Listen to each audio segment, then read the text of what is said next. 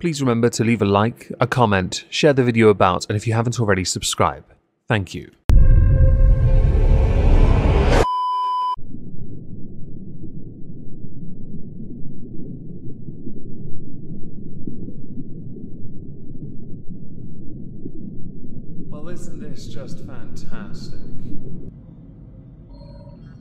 So yesterday on Omegon 2 Electric Boogaloo, channel link in the pinned comment down below, I put out a video titled Frogan needs to be banned. All caps because apparently that's the best way to title a video these days. In the video we went through some of the rather stupid things Frogan said concerning PTSD and soldiers, going on to try and justify it after having already doubled down. Which is a bit stupid really, isn't it? Frogan is one of 30 people, at least, on the platform of Twitch who should, based on terms of service for that platform, be banned. For how long, I don't know. But the rules are quite clear on this, because there are certain protected classes, veterans, and mental health fell well within it. Frogan is, I'll tell you a bit about her, an anti Semite. Pure and simple. She's many other things, but a very privileged moron that likes to screech from her tower whilst vehemently defending Hassan Piker, who at this point I am now convinced is a smooth brain. You may like Hassan Piker, that's quite alright.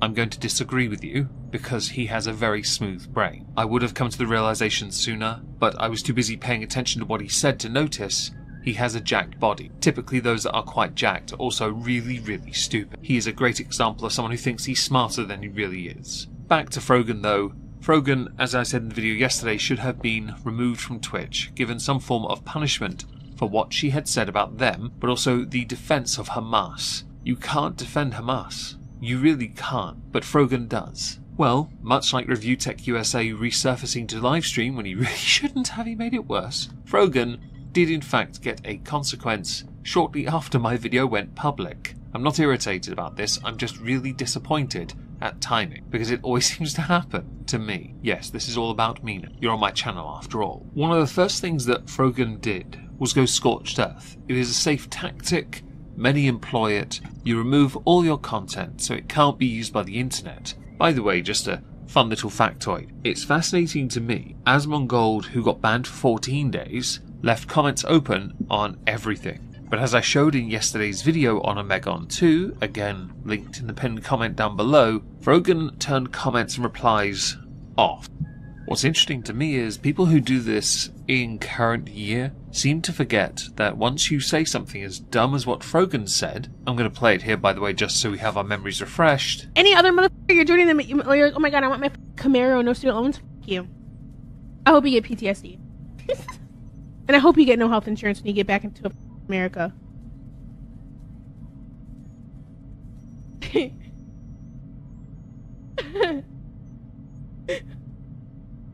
and they posted it in my head. I'm like, uh, base? Uh, based?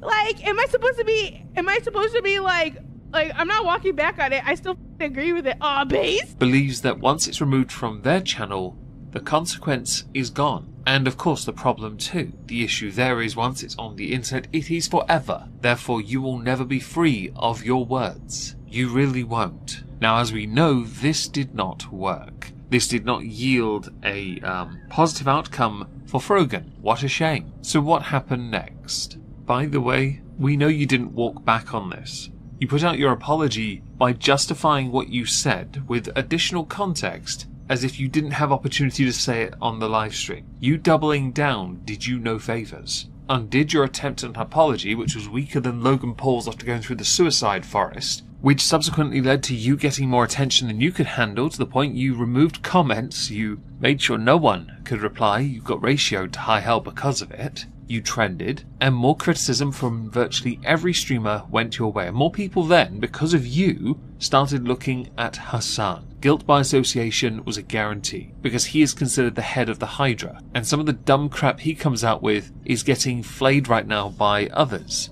That would include Ethan Klein. Whether you like him or not, I'm just pointing out a name of somebody who's criticizing Hassan Piker.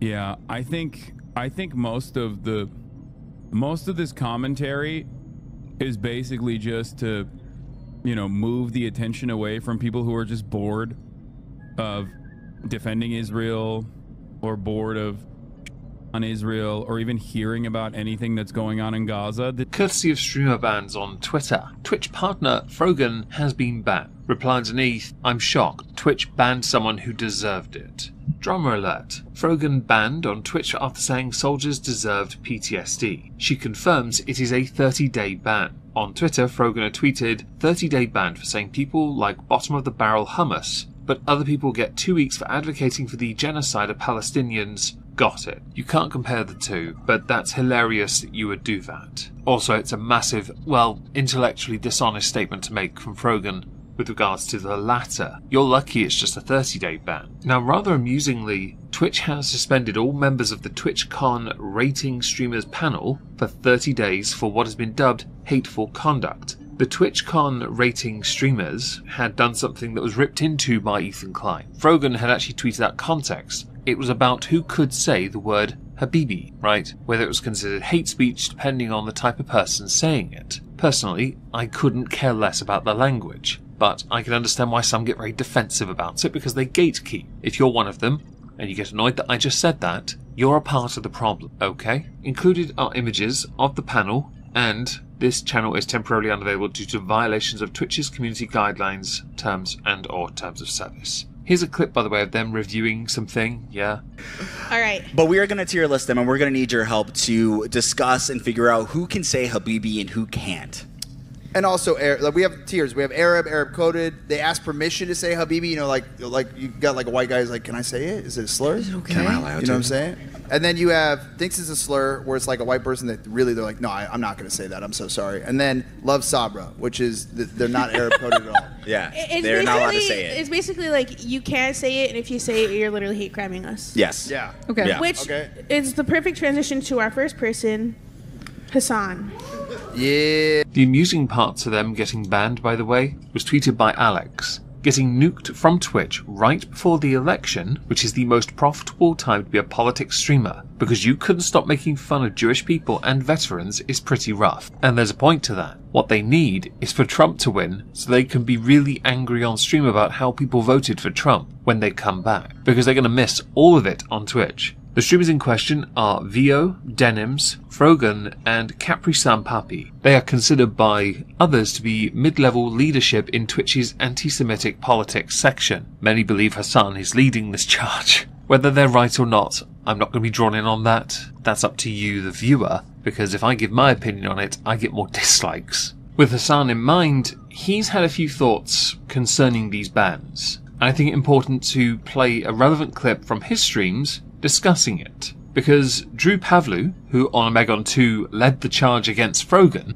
tweeted, Hassan is melting down at Twitch bans against Hamas supporters, with the quote, My absolute pleasure to get Frogan banned from, with my 20 million impressions tweet, Hassan, you're next, buddy. It should be worth pointing out if you watch the clip, his chat is melting down too. of or this, you know, colonial extraction. And instead, you are just an Islamist fundamentalist who would love to redefine America and and make American governance look like Hezbollah. Okay? There is nothing I can do. There is nothing I can do. All I can do is just take it. Just like all Capri Sun Poppy and Frogan and everyone else that's getting banned in this uh, mass ban wave, that all they can do is take it. You know, Hassan, I think they should do something else. I think they should learn to take consequences on board, improve from them, be a better person, and stop being so poisonous. This mentality to be poisonous is the negative trait ironically spouted from people who like to preach compassion and tolerance. Yet the one thing you are incapable of is tolerance. It's almost like a behavioral trait that you've never been raised to understand. Right now, you're in the middle of your election season. You have two choices. The past three and a half years, much in the way of war has taken place and gotten worse. You are using it to drive home political points against one over the other. This kind of behavior shows how pointless your fight is because you are not interested in learning, in being better. You just want to win. Even though over the past three and a half years, you, Hassan, have seen tremendous success with a government that hasn't done that well. No offense intended to any American that thinks Biden has done a great job. You're wrong. And his term in office is nothing short of elder abuse. Now, since Frogan is banned from Twitch, Frogan has resurfaced, courtesy of Clip SZN. She, she's moved to Kick. She's made an account, apparently. She even has followers, which is interesting. I'm impressed that she would go there, but I'm not surprised at the same time. I'm impressed though that you'd have the balls to go there because the intolerance you're going to receive will be vastly worse there, especially when there are other streamers like Adin Ross who stream over there, and they are quite critical of you. Poking on your shit. You. Whore. Slut. Bitch. You're a terrorist in my eyes. I'm the reason why there was a big ADL tweet. Me, yes. I complained about her. Do something. I got her banned. Straight up, I don't care. I snitched. I don't care. Call me a snitch. I don't care.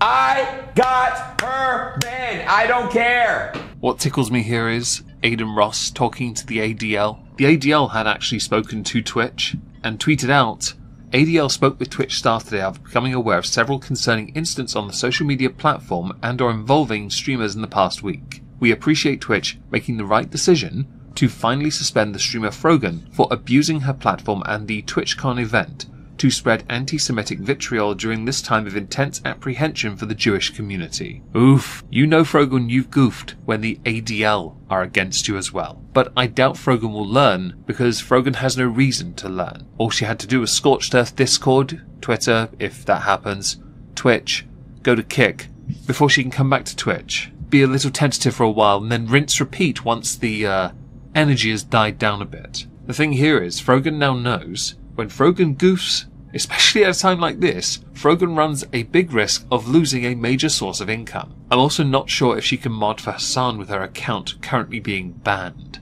unless she's on an alt account.